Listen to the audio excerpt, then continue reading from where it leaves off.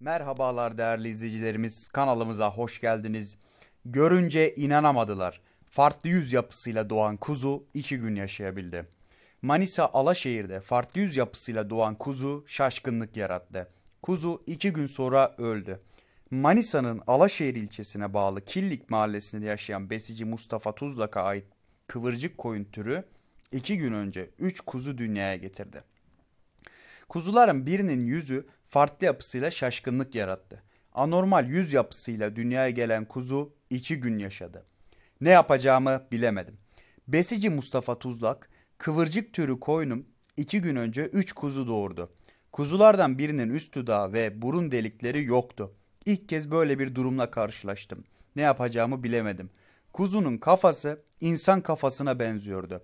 Üst dudağı ve burun delikleri olmadığı için annesini emerken zorlanıyordu. Dolayısıyla annesinden süt alamıyordu. Annesinden aldığım sütü biberonla içirmeye çalıştım ama yeteri kadar beslenemedi. Veteriner gelecekti ancak gece ahırda ölmüş dedi. Koç değişiminden kaynaklanıyor. Alaşehir Tarım ve Orman Müdürlüğü'nden emekli veteriner hekimi Ümit Sönmez, bu tür rahatsızlıklar genellikle koç değişiminden kaynaklanabiliyor.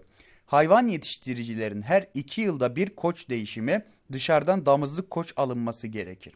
Ayrıca gebelik sırasında kullanılan ilaçların da bu tür rahatsızlıklara etkisi olabiliyor. Sürü içinden koç yetiştiriciliği ve iki yılda bir değiştirilmediği sürece bu olumsuzluklarla karşılaşılabiliyor dedi. Değerli izleyicilerimiz bizleri dinlediğiniz için teşekkür ediyoruz. Bir sonraki videoda görüşmek üzere.